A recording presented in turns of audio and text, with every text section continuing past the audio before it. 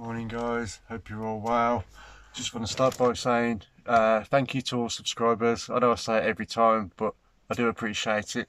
And since the last video, the Facebook page, the group, it's got a lot bigger now and there's a lot more people on there. So feel free to head over to that and there'll be a link in the bottom in the comments and also at the start of the intro. It's called Budget South Self Build Van Club You'll find me on there. There's a lot of people in there now who are willing to help as well, which is good. So all sharing different ideas. So it's getting there. Really good, thank you. But today's episode is going to be about foam. So there's a lot of places that sell foam and it can work out expensive.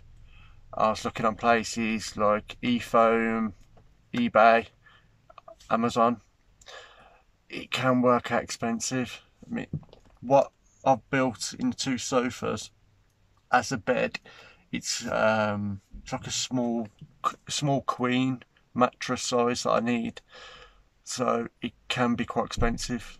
I seen one in IKEA, which I was going to cut down, and it was ninety nine pound. Um, I think it was four inch, so the other day I happened to put a post on Facebook asking if anybody's getting rid of any old sofa cushions, any old foam mattresses, anything, just to test the water, see if I could get anything. Straight away, uh, somebody we knew, Hayley, she said she's got um, a single foam mattress, which we're more than welcome to. So I went out there and I was able to use it, so perfect. So thank you, Hayley, if you're watching. Um, and also uh, on the marketplace as well, I found somebody getting rid of uh, two cot mattresses. One of them's brand new, as you can see. Yeah. The one is still got the cover on it. So there's one brand new and another one which is nearly new, and they were free which they would normally cost about 40 to 50 pound each. So I got them and it's actually a perfect fit for the seats. It's slightly short at the end but it's perfect. They're 1.2 meters wide and by 60 centimeters sorry 1.2 meters length by 60 centimeters wide uh, which is, is perfect. So we've got the two of them now and with the foam uh, mattress. I'm going to cut them down for the backs. As you can see now, I've temporarily cut one down and I've got one for the other side as well, which then once the table goes down to make the bed, these two will go either end uh, to help form a full mattress for us. These are pretty thick. So, and I couldn't go much thicker. I mean, I think I've got um, like four and a half, five inches here. Um, and I've got quite a bit of headroom still. My main concern was having the seats too high and then keep hitting our heads on the cupboards. I didn't fancy that. Uh, the other side, the cupboards are a bit lower, but it's still okay. So when you are looking at foam and stuff and you want to go for the thicker ones, always make sure if you've got anything above your head that it's still worth usable. Because we're okay here. So I won't have no headaches while we're going away. So but yeah I do recommend checking out places like uh, Facebook the marketplace any free selling sites because you'll be surprised what you can get on there. Um, throughout this whole build I've always been looking on there and I've managed to build half of my kitchen with free stuff, my worktop, um, the, the, base that I've built for the, the brackets for the bunk beds, they was free as well. Um, the wood that I've used to put the brackets on, all free. So it is worth checking out other places as well before you buy brand new.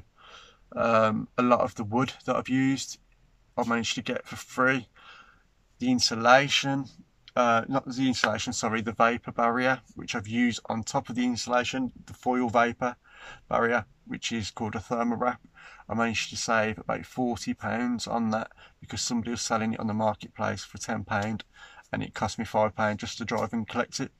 So it is worth checking out these places. So I've temporarily cut them up already. So what I'm going to do now is I bought some uh, covers off Amazon which were two for eight pound. So I've got two sets of them. So I've got um, a cushion, a cover for either of the bases, and then the back. I've got two as well. So I'll cut the one down in half to cover both of the backrests.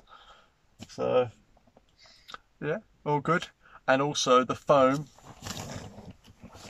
this here, you might be put off by cut, cutting this, but use a bread knife. It may sound daft, and I heard a few people say use a bread knife. And I thought, no, surely a bread knife can't cut through this. But it cuts it clean and nice. And it doesn't rip it or nothing. Literally just a bread knife just cutting through. I was, I was surprised at how well it cut. So I'll show you now me cutting the foam down and get these covered. And we've got our seating area done then. All good.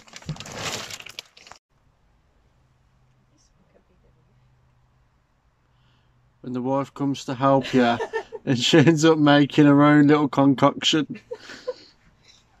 My little What is it you're making? What was you making?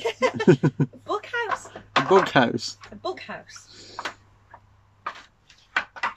Top of counter. Top Um, bug counter. Top, top of counter. Right, so these are the sides. So that's the bag. So I've got the two cot mattresses in the van already. I put the covers on them and now I need to cut the back rests um, for the sofas. So straight edge, tape measure. I'm going to use a Stanley knife to uh, mark where I'm going to cut and then I've got the bread knife to cut the uh.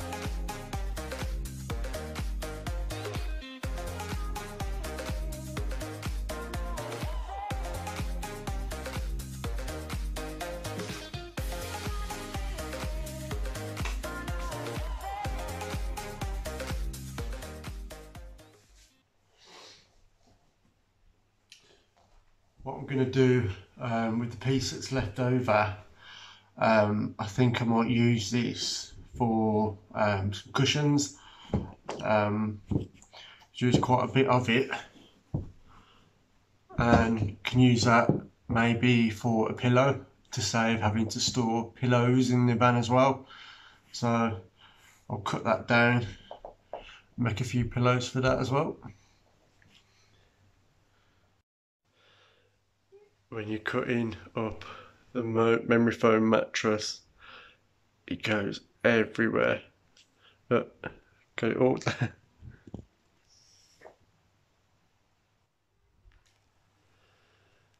It's underneath the sofa, it's everywhere.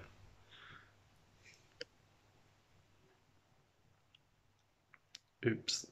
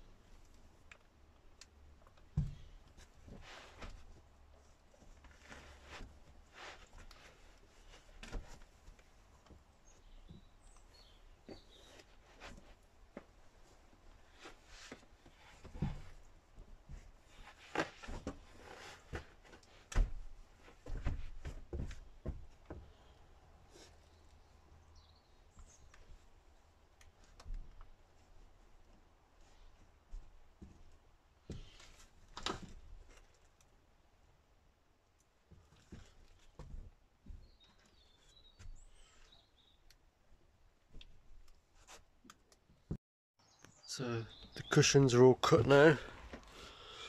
Um, ignore that. I'm going to, um, behind the back, I'm going to sew it together because it's a full sheet wrapped around twice. Um, so yeah, that there, I just need to um, sew down the side. So ignore that. Yeah, there's one. And there's the other. And same again there, I just need to wrap it round tighter. So all good. Right then, let's turn it into a bed and see how that looks.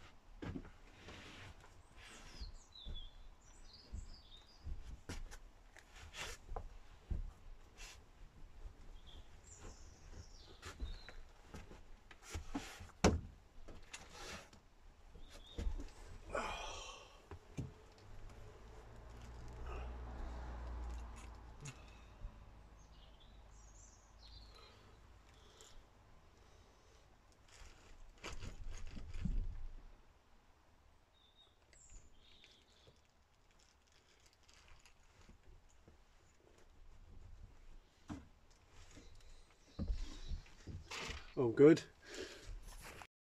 So it hasn't took me long to actually just lie down into a bed. Um, quite impressed to be fair. I have made it quite snug, uh, quite tight.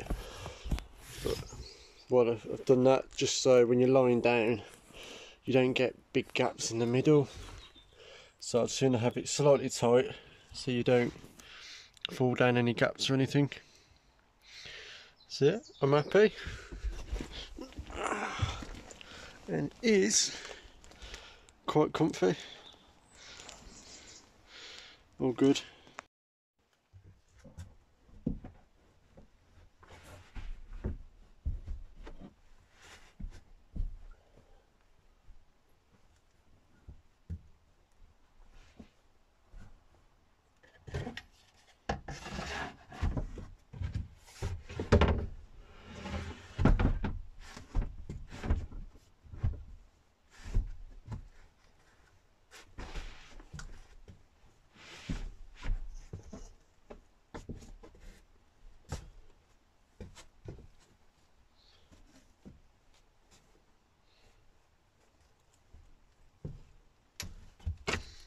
So it literally it doesn't take that long to put it back into a bed either, um, into a sofa either. So I'm happy with that. All good. So literally all this has cost is uh, the price for the cot mattress covers, the the back area, the backrests, and the seats were all free. So it's bonus. Um, I probably will further down the line change the sheets from the covers to something more hard wearing, um, more probably be more waterproof and stuff like that. Because at least then, if we are eating here and the kids drop um, a cup of pop or whatever, at least then it's not going to soak our bed. So I'm happy with that. All good. So if you like it, if it helps, good. And feel free to come to over to the Facebook page if you wish.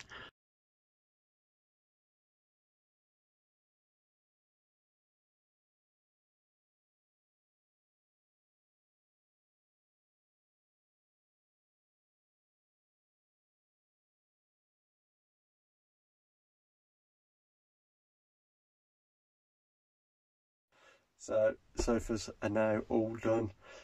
So we've got our sofas and our bed sorted. It hasn't cost me nothing other than the price of the um, covers, which I could have got for free as well, and they are really cheap. So it is worth checking on free sites. As I said before, one of our cot mattresses were brand new, still in the cover, and the other one was nearly new. Uh, the the single mattress that we got, perfect. Um, took the cover off that, cut it down, bang on. And I will be using what's left of that to make a couple of cushions, uh, which we can use for pillows and stuff. So all good. Um, yeah. So thank you for watching it. I hope it's helped in some way and give any kind of ideas. Uh, feel free to come to our Facebook page if you wish. Uh, it's Budget Self Build Camper Van Club. Um, there's nearly 500 people on there at the moment from what's in today, and everyone is happy to help each other. So happy to give advice on anything. So feel free to come over there, and yeah, I shall see you on the next video when I start the back doors, which I'm hoping it will be the weekend. I've got the cladding for it, um, but Friday my windows should be coming, so I'll be doing the windows and then start cladding. Then all good fun. See you soon. Take care.